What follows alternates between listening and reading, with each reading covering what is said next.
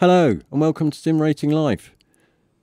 As promised, today we're announcing the winner of the free copy of a Assetto Corsa Competizione, which will release at 6 pm CSET time. So, without further ado, the winner is fanfare, please.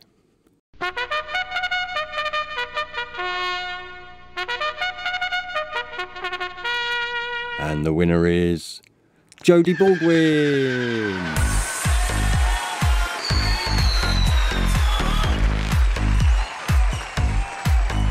So, Jody, uh, please contact us. Um, we have sent you a message on uh, YouTube. Uh, you need to get back to us ASAP, please, uh, so we can arrange uh, for your free copy of Assetto Corsa.